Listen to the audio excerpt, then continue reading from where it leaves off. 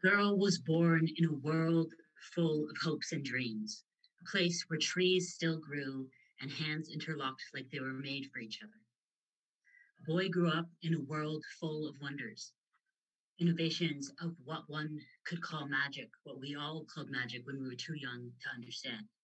Instant communication, images, knowledge, all brought to life at the press of a button.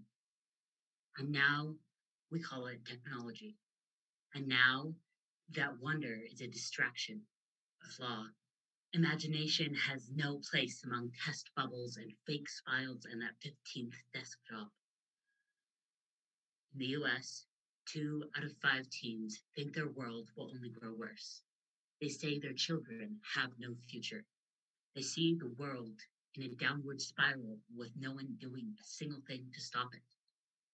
In Kenya, 19 out of 20 teens think their world will only grow better. Why is it that the more we have, the more we expect to lose? Why is it that mental health is plummeting in the generation that has it all? I have a theory apathy, lack of interest, enthusiasm, or concern. According to the world, our generation just can't be bothered to care. We have no drive, no passion. We're just sitting around talking instead of acting to fix the things that matter most. Those phones have clouded our minds and made us complacent as the world falls apart around us. They tell us words aren't good enough to fix things. They tell us we have to focus on the next class, the next exam, the next college application, because grades and diplomas are the only things that make a difference.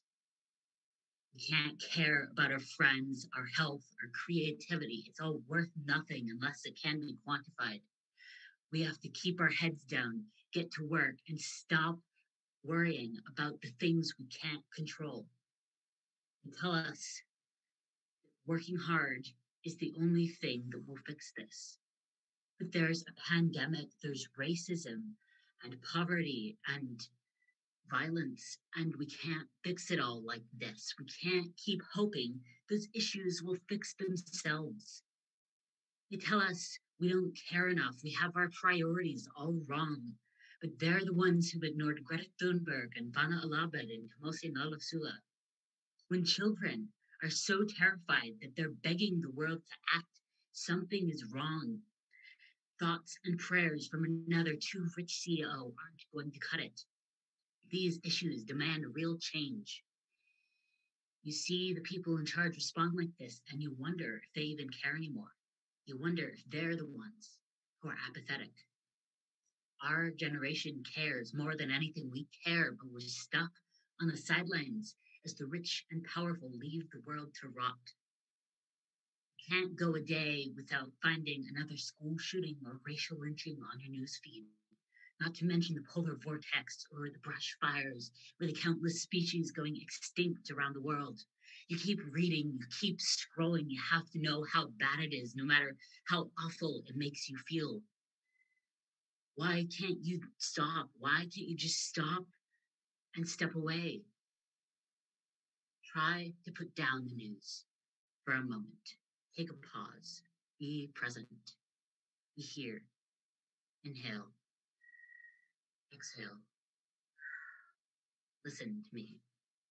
I'm not going to lie to you. It's bad. We don't live in a perfect world, far from it.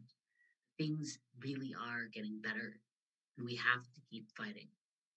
We cannot afford to stagnate. And I mean that. We can't stop here. Climate change will end the world, even though COVID hasn't. We need to do something about these issues, and we need to do it now. I am tired of watching the world fall apart without a fight. We have to be done with empty words and kind regards we've learned they're not enough. We need to stand up and we need to fight. Don't listen when they tell you to give up, when they tell you you're not good enough. You can't do it alone. None of us can but we can do it together. We have a global platform, and now more than ever, we need to use it. They tell us technology is a distraction, but it's a gift. That knowledge, that education, and that support, those are the tools we need to create real change. We have the power to make our voices heard. We can spread awareness, we can raise funds, we can petition for reform. And the tools we're using are working. COVID relief has saved countless lives, and vaccines will save even more. This could have been another terrible pandemic where survival of the fittest won out, but we refused to let that happen. We stood up and we demanded change. The global experience that was 2020 lit a spark, a dream. It showed so many people around the world that things can change, that they are changing, and that every voice matters. There are so many issues in the world that need fixing, and it's too much for anyone to handle alone. But our strength is not in one extraordinary soul, one single solution. It's in collaboration. We have strength in numbers. Together, we can pick up the pieces and make something better of them. Together, we can create a world, of hope, and dream. Together, we can save our future. Thank you.